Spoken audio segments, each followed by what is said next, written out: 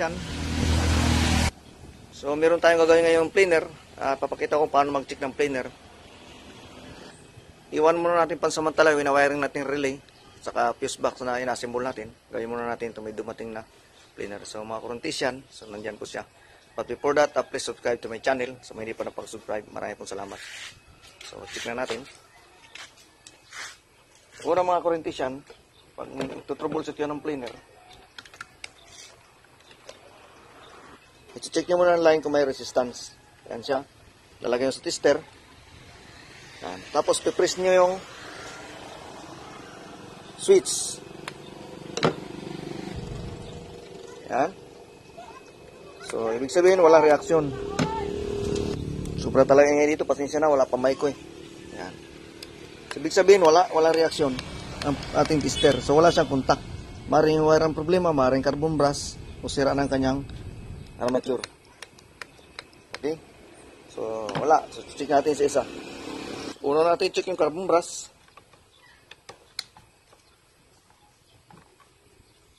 Yan.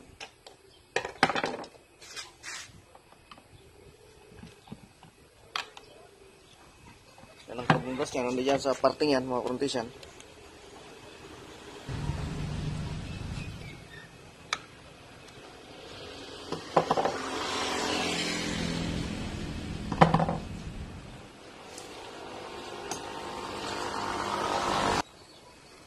siya mga kuruntis yan. Nyo muna yung carbon brush.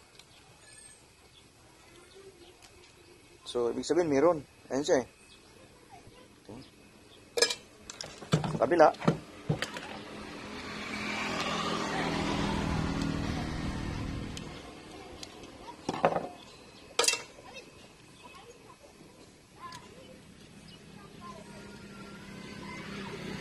Meron.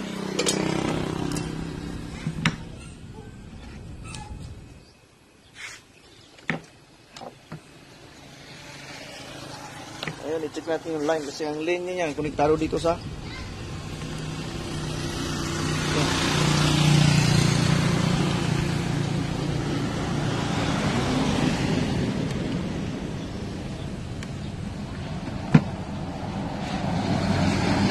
So, tingnan natin ang switch, buksan natin.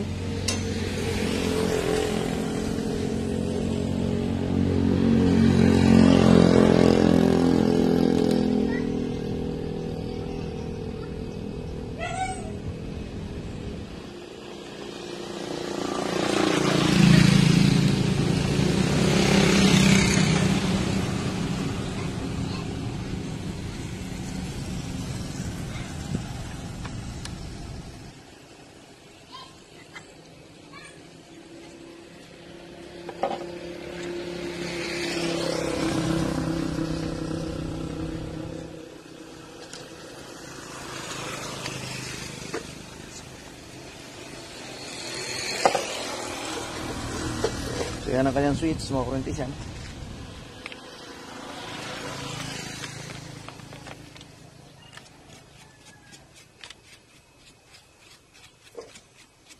Check natin. Yan. So, kailangan kurentis siya, may contact yan.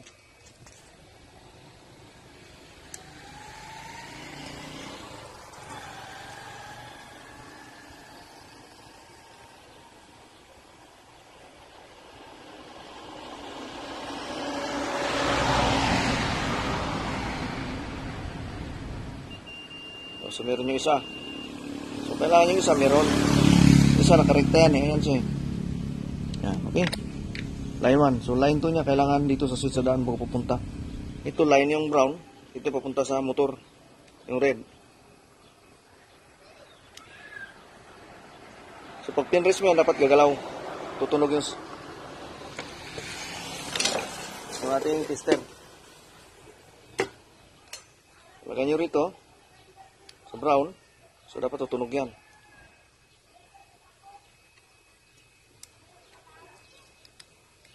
Yan.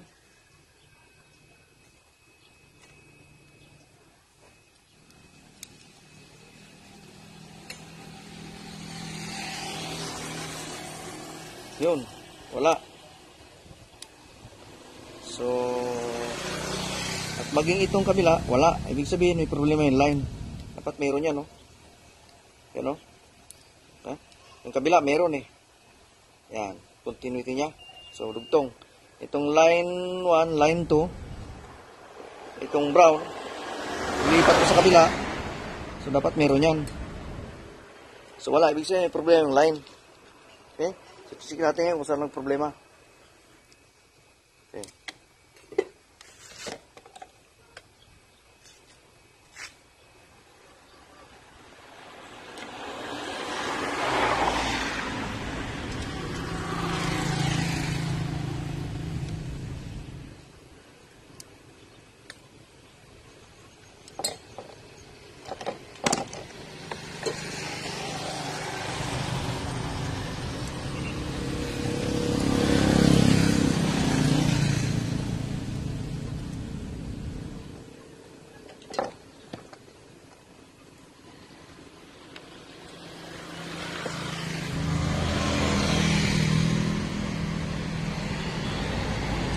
Check natin switch.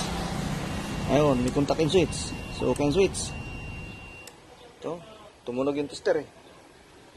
Yun.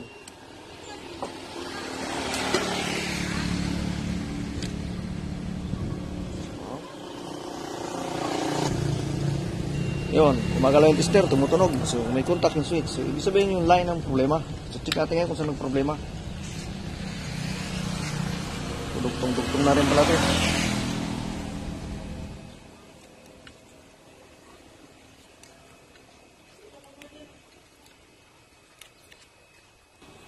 Putol-putol na. Okay. So malaman natin yan kung ditong problema sa puno o doon sa kabilang dulo.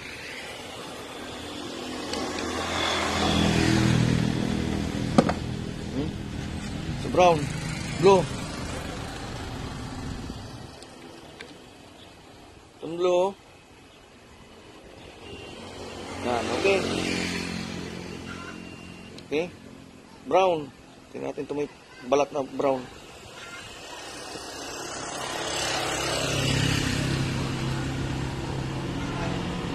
Wala. So, ibig sabihin mo kung siya, dito yung problema. Okay. Dito, sa puro na to.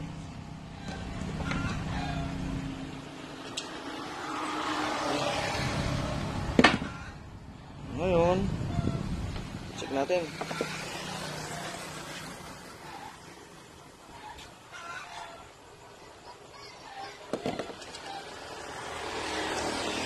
Aha. Brown. Wala. So, ibig sabihin, dito ang problema niya sa puno. Ayun. Problema niya. So, check natin. Ibaba natin yung binabalatan natin. Kung aabot siya doon sa puno, palitan.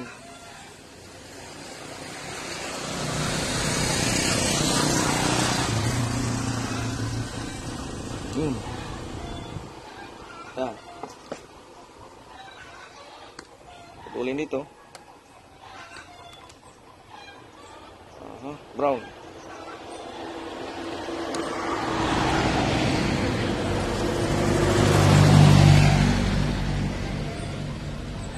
Wala pa rin. Ibig sabihin, dito ang problema sa puno. Check natin ngayon dito. Baka naputol dito.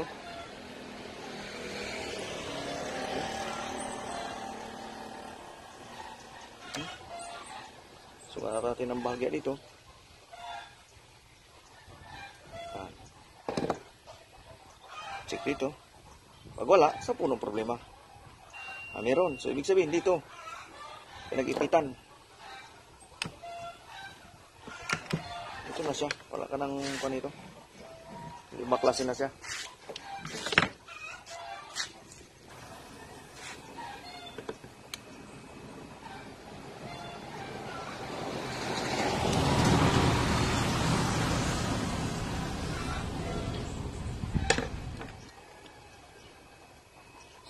So, wala ka ng choice ito. Hindi. Aha. Itong brown, okay.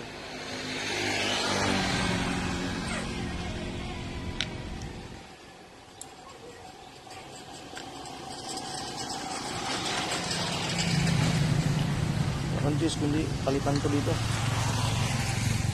Hmm. Tulin. So, si- atras itong kanyang pinakalinya.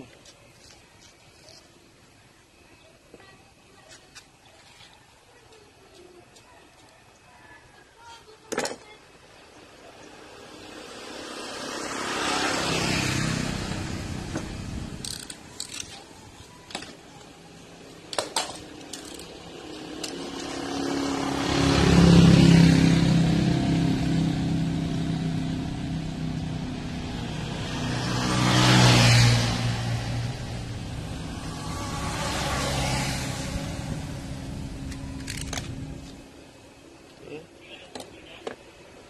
Pasok to.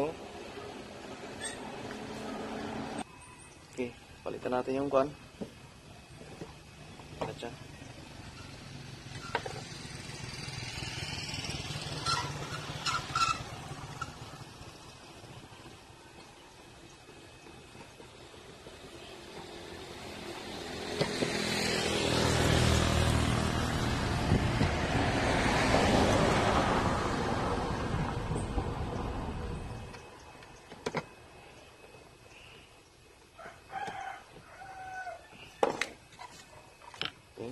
Brown sa brown.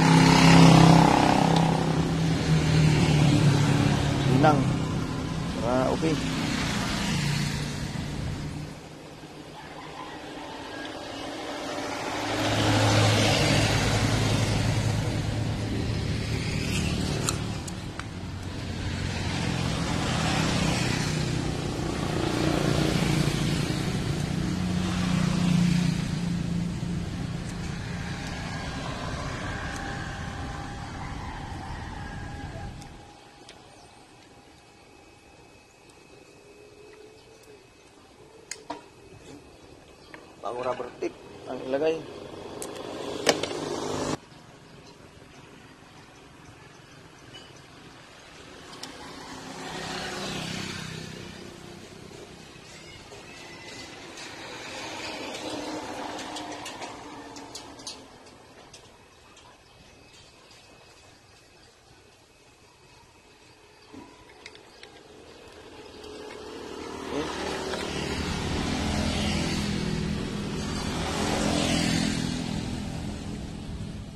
makanan para iwas ini.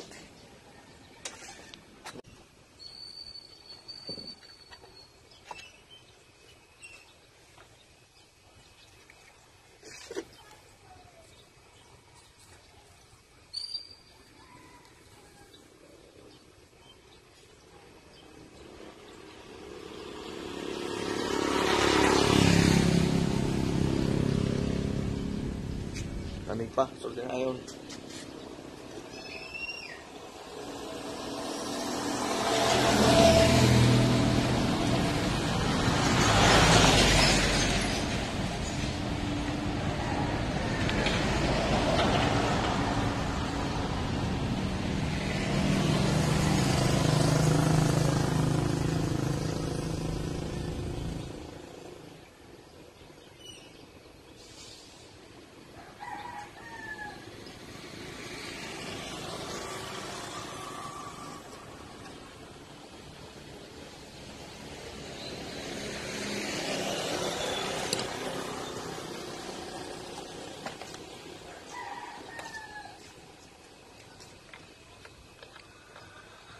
Ayon. Sa pag-connect nyo yung kurente yan, kaya pasiguro kayo lagi ha. So, lagyan ng masking tape para hindi dumulas.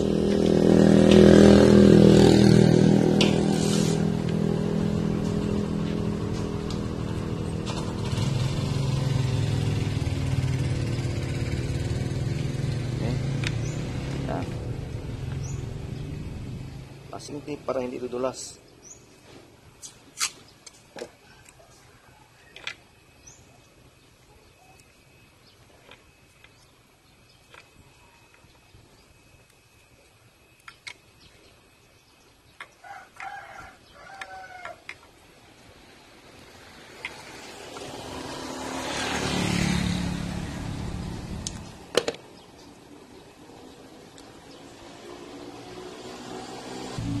Ako rubber tip para si- sigurado.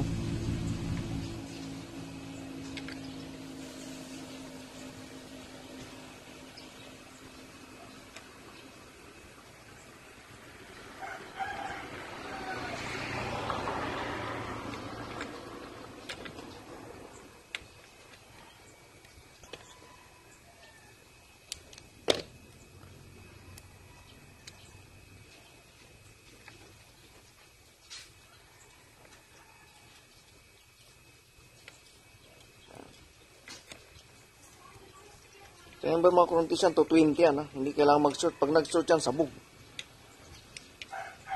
High voltage siya, mara makakurente. Kaya pag gagawa kayo sa mga ganitong wire, dapat pasiguro.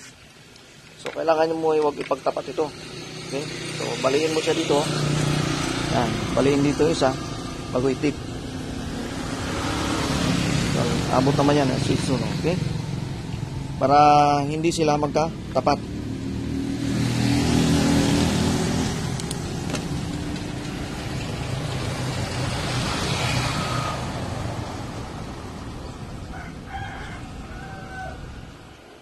So, itip natin ngayon dito.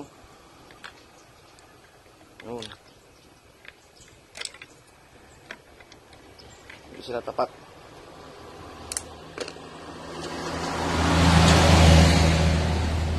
Para magkakuanan man ng kwan, ang kanyang wire, matanggal man yung balot, hindi sila magsusort.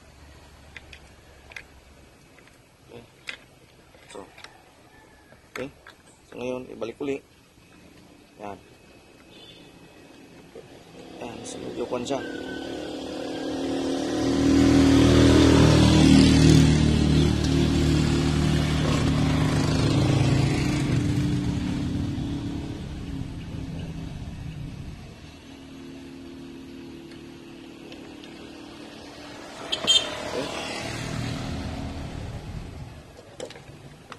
So, ipitin to.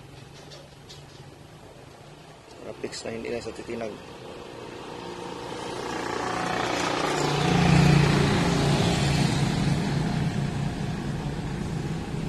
Yun.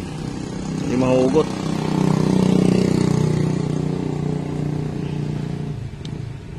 Okay. So, natin yung kanyang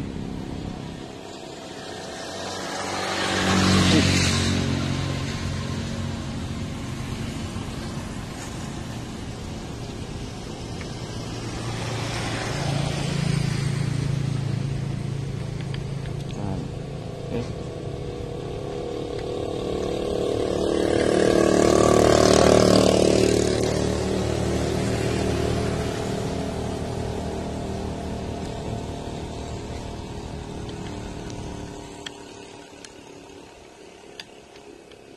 Okay. So, be sure na hindi maiipit, na hindi magsushort. Yan. Hindi maiipit pag takip. Takpan.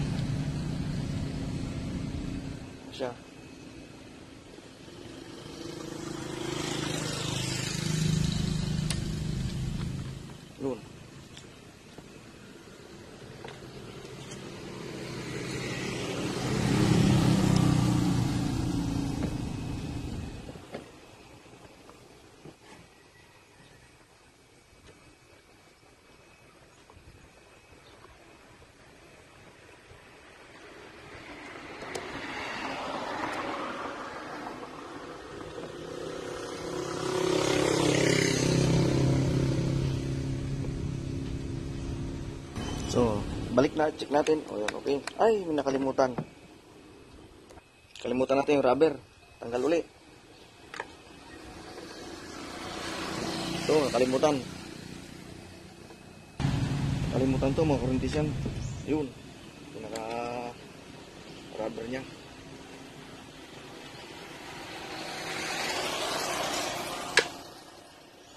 Okay, balik uli.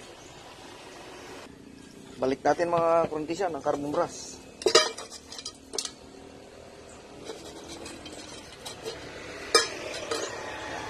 Nako, parang UP-UP na carbon brush sila na to. Nako. Ah. Balik doon. Sa butas niya, kailangan lapat yan na maganda.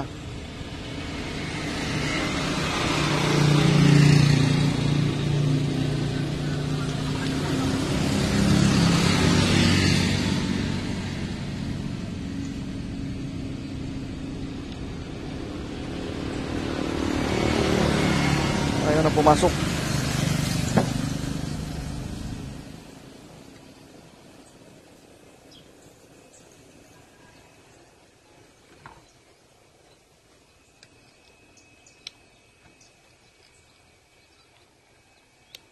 Yun.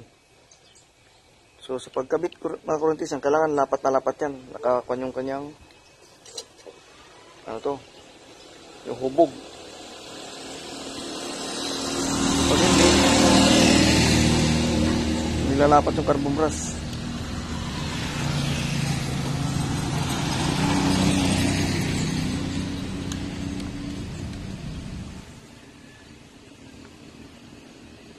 Okay. Kabila. Sira na nila, oh. Ang ginawa nila dito.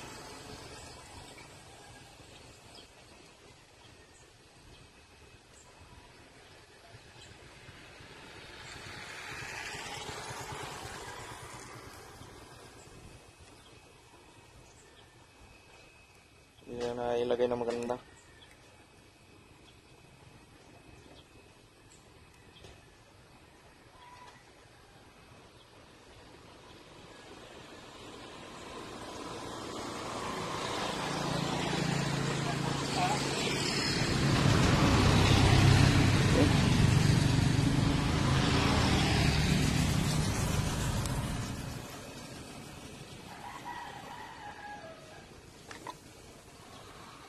Ay, nasira ang carbon brush nila.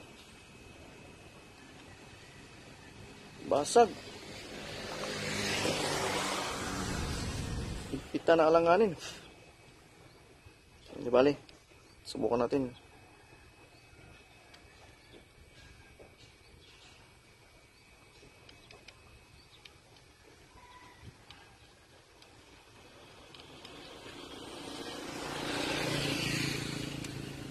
Yun. Kasi kailangan nakalapat siya doon ng ayos, ilalim. Pag hindi, hindi pumasok yan, wala.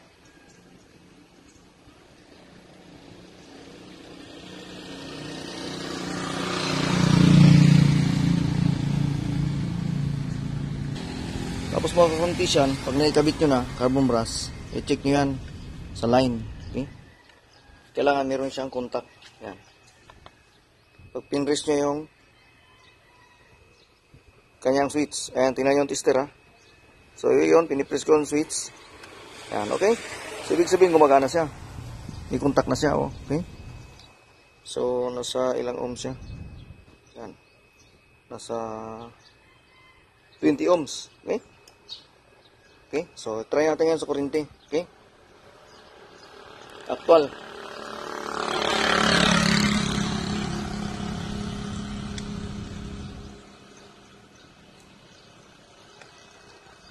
Saksak natin. Saksakan. Ayun. So tapos try natin no? Ayan na. So natin kung gumana ang gawa natin. Okay?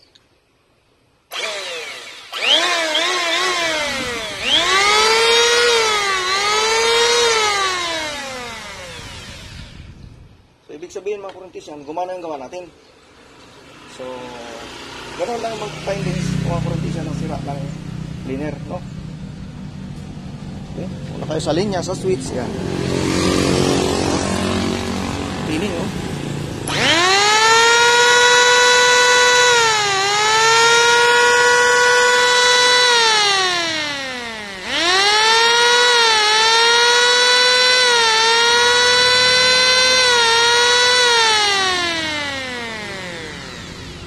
Yan.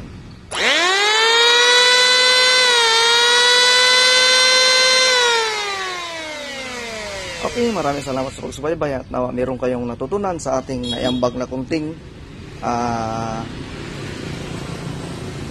kunting kaalaman. So, sa mga may gamit dyan, so yan po. Chance nyo na para hindi na kayo dadala kung saan saan ng planer. So, makarpintero. Basic lang, alam nyo na.